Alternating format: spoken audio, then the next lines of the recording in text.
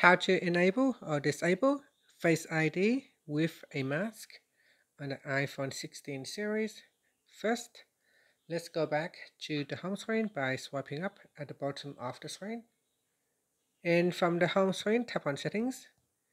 Now in the settings page, we scroll down and then tap on Face ID and passcode.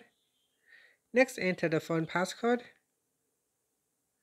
Then we go down and then tap on Face ID with a mask.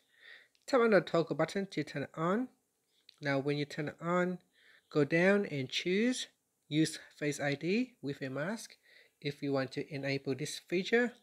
Otherwise, you can choose Don't use Face ID with a mask to disable this feature. So I'm going to turn it on by selecting Use Face ID with a mask. Next, tap on the Get Started button and then position your face within the frame and then move your head to the right to the left up and down to perform a full scan. And then tap on done. Next if you are wearing glasses you can also choose add glasses.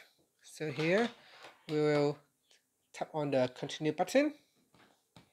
And then again position your face within the frame and then move your head to the left to the right up and down.